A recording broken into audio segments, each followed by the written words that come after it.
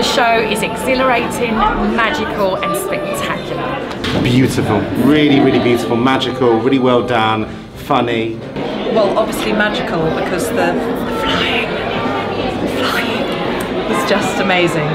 And we've just seen the snowman fly with a little boy and my children are beside themselves in excitement. It's so magical, it really was. I'm sitting next to my beautiful little three-year-old daughter whose face is just in her profile is just like an advert for all that's beautiful about Christmas. So far it's been absolutely amazing. The kids absolutely love it. It's really colourful, so they're really enjoying it. And even the littlest one, she's like two and a half, she's like captivated by it as well, so it's good. I love the show. I've come many times over the last 20 years and every time it's a wonderful magical experience. Always been a big fan of the snowman. To see the kids watching the show is just brilliant. It's such a magical experience. It's definitely something for the family.